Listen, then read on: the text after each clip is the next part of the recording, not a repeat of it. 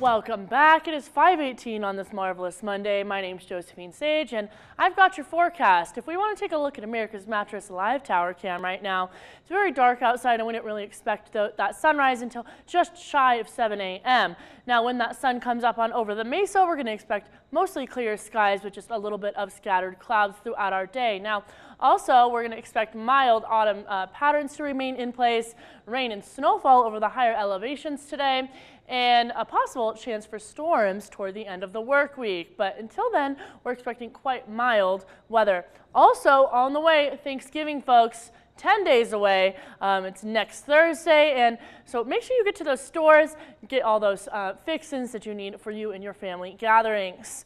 Right now, our temperatures are looking to be 30 degrees in Grand Junction as well as Montrose, and in our higher elevation areas, a little bit on the cooler side, 17 degrees in Gunnison, 26 in Aspen, even 28 in Glenwood Springs. Now, those are just shy of our seasonal averages. We're looking at a usual 53 in Grand Junction for our high, the usual low of 28. Now, earlier today, we did hit a low of 21 degrees, so definitely a little bit on the cooler side, and we're going to be between 10 and 15 degrees shy of our seasonal averages for today as well as for the rest of our week.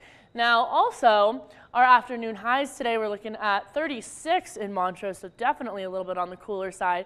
And in our higher elevation areas, we're only going to get up to 30 in Aspen, and also again 36 in Gunnison. So we're getting really close to those freezing points, not only here on the western slope, but also in those higher elevation areas. And tonight, between basically when the sun goes down around 5.30 to 7 a.m. when the sun comes up, we're looking to get down into a cool 23 in Grand Junction, 16 in Delta Montrose, even a cool 5 degrees in Gunnison, and 10 in Aspen. So we're looking for those chillier temperatures as November crawls on, and even towards the end of the work week when we get a chance for another round of showers. It's going to be a little bit on the cooler side. Now, most of our clouds are going to be centered over uh, to the east of us today and uh, throughout the next couple of days, but here on the western slope, we might be getting a little bit of cloud coverage, but mostly clear skies as we continue on. Now, we're also going to expect some pretty mild winds today, six miles an hour in Grand Junction right now no, or no wind in uh, Montrose right now. We don't really expect to exceed more than 10 to 15 miles an hour at most uh,